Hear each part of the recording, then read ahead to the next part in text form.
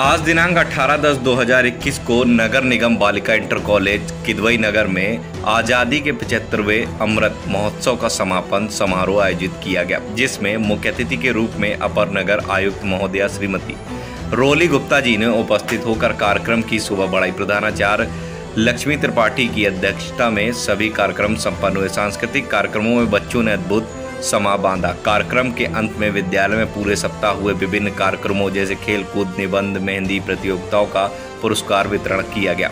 विद्यालय में आयोजित प्रदर्शनी विशेष आकर्षण का केंद्र रही। बच्चों ने विज्ञान में होम सैनिटाइजर तथा डिटर्जेंट भी बनाया। बच्चों ने वेस्ट मटेरियल से विभिन्न सामान बनाए। देशभक्ति पर आधारित पोस्टर भी बच्चों ने प्रदर्शनी में प्रस्तुत किए। कार्यक्रम का संचालन सालू शर्मा ने किया। कार्यक्रम में पूर्ण रूप से प्रधानाचार्य लक्ष्मी त्रिपाठी, छाया सिंह, स्नेहलता, प्रीति त्रिपाठी, आरती सचान, मनु मेहरोत्रा, सालू शर्मा, अंजलि तिवारी, कामनी दीक्षित, जया दीक्षित तथा लिपिक रेणु कर्मचारीगण उपस्थित रहे। कानपुर से ब्यूरो आलोक ठाकुर की विशेष रिपोर्ट।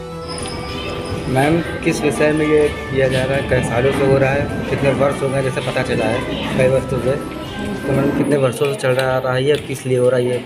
पता ये हमारा अमृत महोत्सव का आयोजन हो रहा है उसका आज समापन है। हमारा पचहत्तर दिन तक नगर निगम के सभी विद्यालयों में टर्न बाय टर्न चलता रहा है। पचहत्तर दिनों तक अनवरत रूप से चला है। यहाँ भी स्टार्ट हुआ था आज उसका समापन है अमृत महोत्सव। मैम जो विद्यालय जो है आपका है। इस विद्यालय में अक्सर ऐसे संस्कृत कार्यक्रम हुआ करते हैं? ये हमारे बच्चों की जो भी कलाएँ हैं उसको उभारने के लिए उनको प्रोत्साहित करने के लिए समय समय पर कार्यक्रम होते रहते हैं। बच्चों को जैसे अमृत महोत्सव है, या आज़ादी का अमृत महोत्सव है। तो आज़ादी में का भी पूरा बताने के लिए ये कार्यक्रम आयोजित किए जाते हैं। बच्चों को भी जानकारी हो कि किस तरह से हमारी आज़ादी हम लोगों को मिली, किस तरह से शहीद हुए हमारे देशभक्त वगैरह, फ्रीडम फाइटर। तो इस तरह से आयोजन के माध्यम से बच्चों को, बच्चे शिक्षित भी होते हैं इस तरह से। धन्यवाद।